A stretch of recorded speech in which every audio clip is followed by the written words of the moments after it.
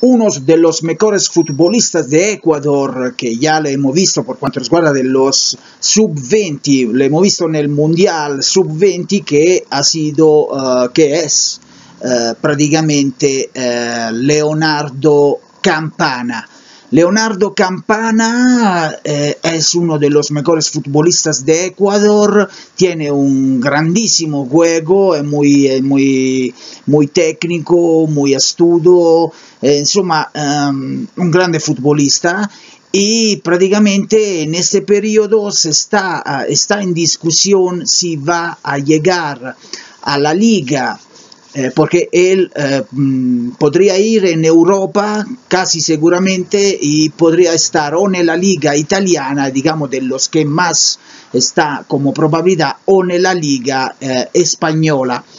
Bueno, están voces que dicen que él probablemente pasará también por un equipo de Alemania que podrá estar en préstamo por acá y por allá, no se sabe bien, de lo que sabemos es que tiene un contrato hasta uh, diciembre es de este año. Y entonces a ver si el Barcelona uh, donde él juega Barcelona de, de Ecuador uh, donde él juega si lo va a dejar etcétera, etcétera. Y bueno, uno de los equipos de la liga uh, italiana que estarían interesados son prácticamente el Milan y el Inter.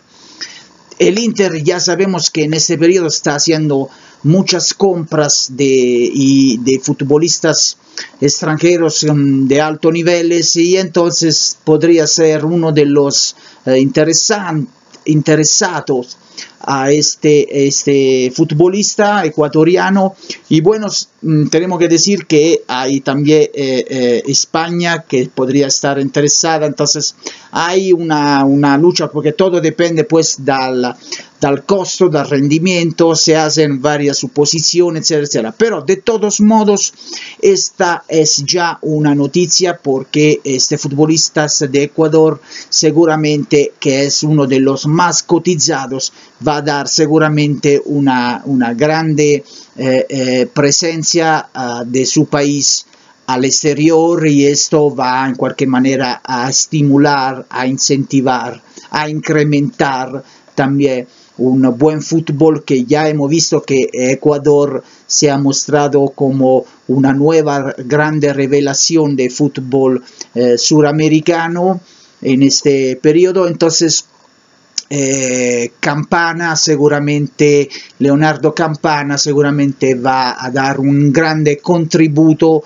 sobre este aspecto. Esperemos bien, eh, tenemos solo que ver quién se lo va a adjudicar.